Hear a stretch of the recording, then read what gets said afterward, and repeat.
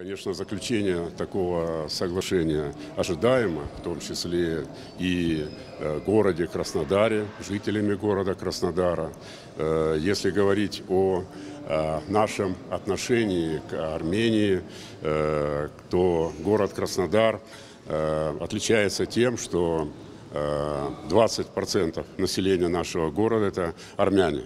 Вот. И я доволен тем, что э, диаспора армянская активно участвует в жизни нашего города и, конечно, государства. И поэтому считаю, что наши самые близкие отношения, в том числе на межгосударственном уровне, послужат развитию наших государств и России, и Армении.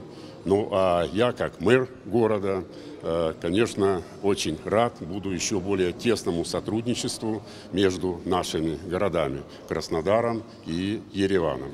Я, к сожалению, первый раз э, в Ереване. Сожалею о том, что э, раньше здесь не был, но и первые впечатления самые замечательные.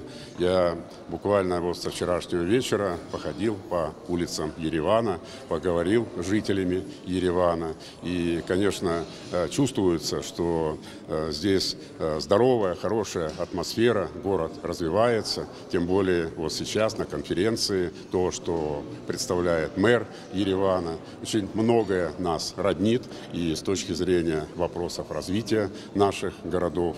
Ну и считаю, что вот э, все сегодняшние э, взаимоотношения межгосударственные, ну а мы еще и планируем подписание соглашения между городом Краснодаром и Ереваном о дальнейшем э, развитии нашего сотрудничества. Все это послужит общему делу и сближения наших государств и их ускоренного развития.